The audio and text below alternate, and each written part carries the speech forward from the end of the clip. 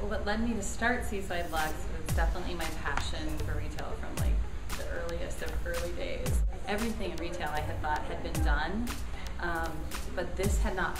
There was no uh, resort retail destination, luxury retail that hotels really mashed up the retail experience with the five-star resort experience.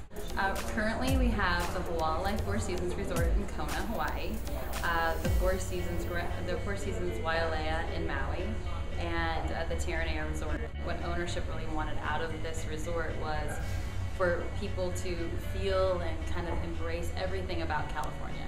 Definitely feels like you're somewhere um, in the Mediterranean, possibly when you're driving around. And but then blending that with California lifestyle was the perfect way for us to do you know, focus really heavily on California designers on the inside and create this magical environment like you're, you're transported to another place that might not necessarily be in California from the outside and just make that all work together.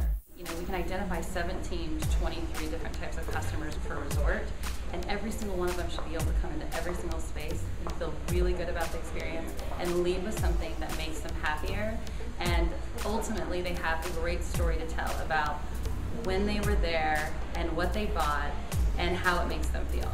Even if you don't buy anything in our stores, you come into the environments that we create and they're so welcoming and warm and well thought out.